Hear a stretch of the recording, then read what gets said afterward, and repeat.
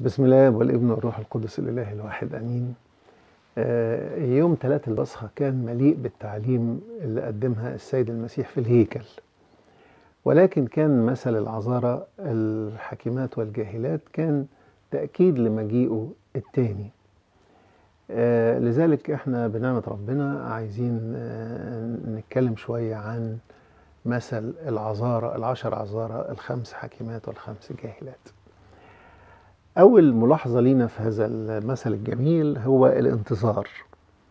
ونلاحظ أن العذارى آه، قعدوا مع بعض في انتظار طويل ووقتها ما كانش حد عارف يفرق بين الحاكمات والجاهلات. كلهم يملكوا المصابيح في أيديهم وكانت المصابيح موقدة وظلت موقدة حتى منتصف الليل. قبل منتصف الليل بقليل ابتدوا يتعبوا. ظهرت عليهم علامات التعب وابتدوا يشعروا بأنهم آه، مثقلين بالنوم. لكن آه، اللي حصل إن في خمسة منهم على جنب كده ابتدوا يتهامسوا مع بعض يقول ما فيش فايدة من السهر العريس لن يحضر. تعبنا آه، وندموا بقى لو إحنا تعبنا واستنينا وقعدنا مولعين المصابيح و وبجهالة اتفقوا فيما بينهم إن هم يطفوا المصابيح ويناموا. وناموا نوما عميقا كمن ينام نوم الموت. الخمس عذارى الآخرين بقى تعبوا بالجسد ولكن الروح كانت نشيطة. فجمعوا الزيت في أواني تكفيهم وناموا. هم تعبانين ناموا. لكن على جنب كده كان كل واحدة منهم موفرة شوية زيت زيادة في الآنية وكنا مستعدات. ودي بتفكرني بالآية في النشيد. أنا نائمة وقلبي إيه؟ مستيقظ. في نصف الليل صار صراخ هو ذا العريس قد أقبل. بعد الانتظار الطويل انتصف الليل. وسمعوا صوت وصوت التهليل والفرح لقدوم العريس. كانت الحسرة بقى للجاهلات والخيبوا أملهم ولكن من الناحية التانية الفرحة كانت للعذارى المستعدات وعاشوا في سعادة. حاولوا العذارى الجاهلات إن هم يشعلوا المصابيح لقوا الزيت خلص.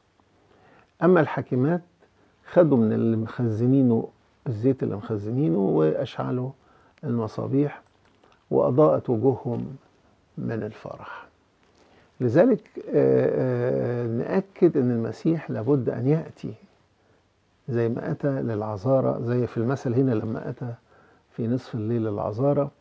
لابد أن يأتي المسيح بعد منتصف الليل بعد الانتظار الطويل بعد ما يعني كل عقولنا وأفهامنا وتقديراتنا تبوء بالفشل وما نعرفش نحدد ميعاد مجيئه وبعد ما نستسلم له بقلوبنا ونهدئ عقولنا ونشفق على أفكارنا بعد النوم الحقيقي نوم اليقظة اللي بتكون فيه الروح نشيطة وبعد ما نهمل كل أمور هذا الجسد وننتظر الروح مجيء العريس السمائي يأتي المسيح. فأول ملاحظة لينا كانت الانتظار وماذا أنتج لنا هذا الانتظار؟ الملاحظة الثانية عن المستعدون. ومجد المستعدين هيبدأ لما يظهر العريس لأن وجهه هيشرق عليهم فيجعل وجوههم أيضا هي تضيء. وحيث يكون هما سيكونون هم أيضا معه لن يفرقهم عنه الزمان أو المكان. فلما يظهر هيكونوا هم معاه في الوقت ولن ينفصلوا عنه. زي ما السيد المسيح نفسه طلب قال أيها الآب أريد أن هؤلاء الذين أعطيتني يكونون معي حيث أكون أنا لينظروا مجدي الذي أعطيتني. المسيح له المجد هيكرم هؤلاء اللي اشتركوا معاه في آلامه وصبروا واحتملوا وخرجوا من الضيقة في هذا العالم منتصرين إلى سعادة أبدية. زي المسيح ما اشترك معاهم في ألمهم هيشتركوا معاهم أيضا في مجده بعد ما داقوا الآلام وغسلوا خطاياهم في دمه واستحقوا أن يعيشوا معه إلى الأبد. ومصدر سعادتهم إن هم هيشوفوا وجه المسيح في كل حين ويشتركوا معاه في وليمته الأبدية.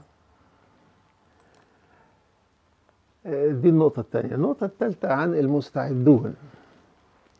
لما نيجي نفهم من هم المستعدون اللي هيلاقوا المسيح بالزيت ويضيئوا مصابيحهم عشان يلتقوا معاه في المجد. فئات مختلفة. أول فئة هي فئة أبطال الإيمان اللي تعبوا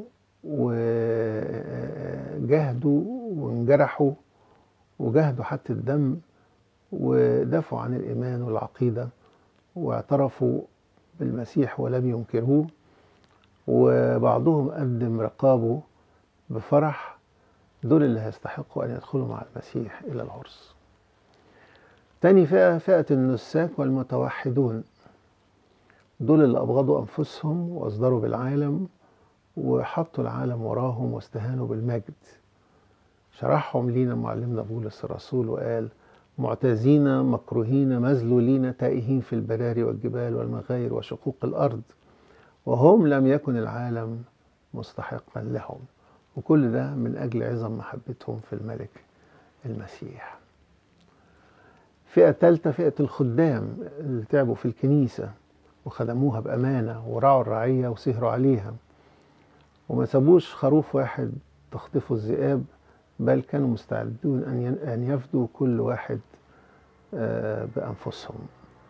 وكانوا مثال للراعي الصالح يخدموا المسكين ويطعموه ويسندوا الضعيف ويدافعوا عن الأرملة واليتيم ويشبعوا الخراف من التعليم الحية.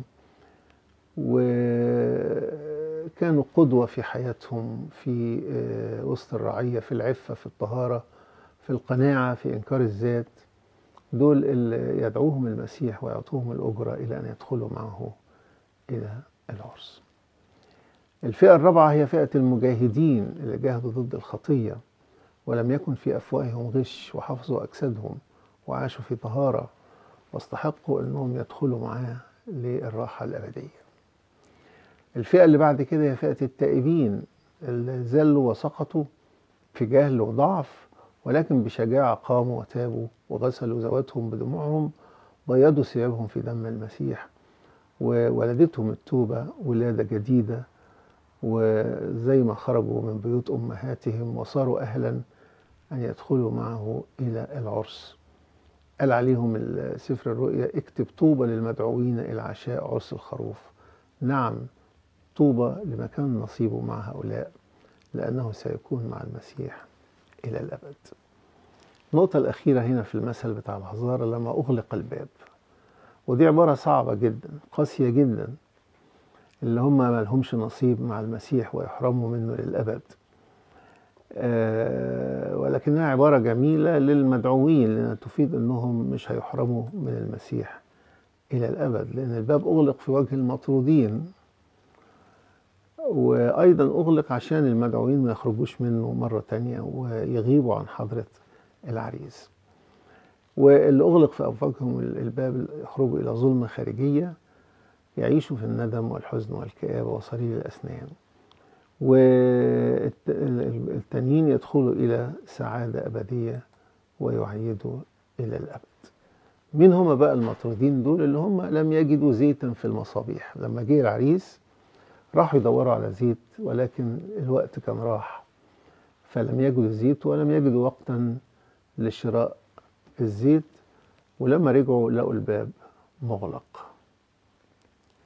فكل واحد مننا لما يسمع هذا المثل يفكر يقول يا رب هل أنا من, من, من أي مجموعة؟ هل أنا من المستعدين ولا أنا من المطرودين؟